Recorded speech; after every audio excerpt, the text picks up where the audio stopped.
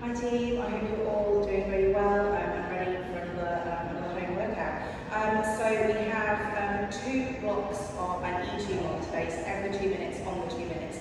So you're going to repeat three rounds um, of block one and then rest, three rounds of block two and then rest, and then there's a little finisher um, to finish up. Um, so for options for weighted and non-weighted here. So if you are using the weight for your first two minutes, you're going to grab um, a kettlebell, a dumbbell, hold that weight nice and high, take in a goblet squat. So we sink down to the bottom, break the increase at the bottom, pause for a second as you get to the bottom, and then drive back up. So the important thing here is that one second pause at the bottom. That's where, because you've got two minutes to fit 30 reps in. So that's where your kind of your timing comes into it with that pause. If you're just doing 30 squats in two minutes, I would imagine you'd get quite a lot of recovery. If you are not using a weight here, you'll come down do your 30 squats, pause at the bottom, drive back up. What I want you to do then, once you finish your 30, is 10 jump squats just to finish off the round. So if you're not using a weight, it's 10 jump squats after. Um, if you are using a weight and you're finishing really quite quickly, you feel like you've got some more in your legs, then yeah, 10 jump squats after, why not? So that's in minutes 0 to 2. In minutes 2 to 4, your second, uh, your second one, 25 swings.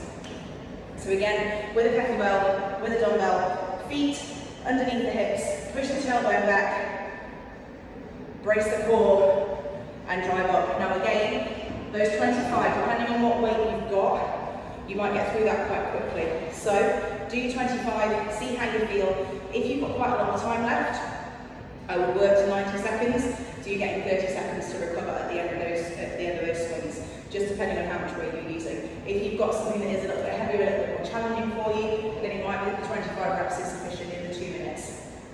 If you are not using the weight, you're going to come into 90 seconds of mountain climbers. So using the whole 90 seconds, bring the body nice and long into plank, and then run or walk the knees in towards the chest. So just to 90 seconds, taking 30 seconds of recovery. Two minutes, minutes four to six, you're going to take 20 kneel to standing squats. So with your weight, hold it high on the chest, come down to kneeling, and bring the tops of your feet to the floor here.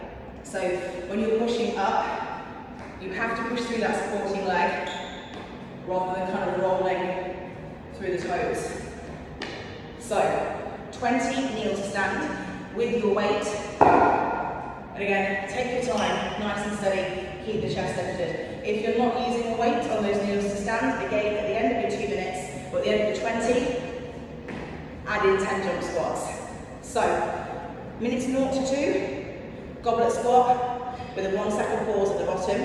If you're not using a weight, then 10 jump squats additional. Minutes 2 to 4, 25 swings, depending on what weight you're using, do the 25 or maybe you choose to go to 90 seconds. If you're not using a weight, then um, 90 seconds of mountain climbers, finishing off minutes 4 to 6, kneeling to standing with 10 additional jump squats if um, you're not using a weight. So that's your first block. Once you've finished all of those, you'll repeat them. Forgetting to tell you to repeat them, you repeat them. So you're doing all of those twice and then rest for 60 seconds before moving on to your second block of E2 one.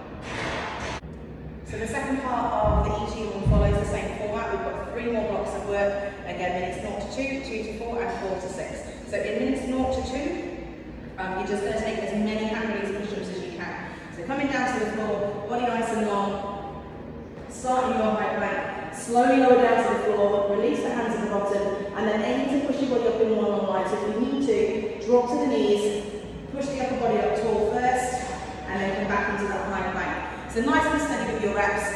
You've got two minutes. Um, I would say you want to be finishing around the kind of 1 minute 50 mark, if not 1 minute 45, just to give yourself 15 seconds to kind of shake off and get ready to go in your next exercise. So maximum hand release press ups. Minutes 2 to 4, still working on the upper body. This time thinking about the back. Grab some weights. Ideally you'll have two. We're going to take the feet wider than the hips and come into a gorilla row.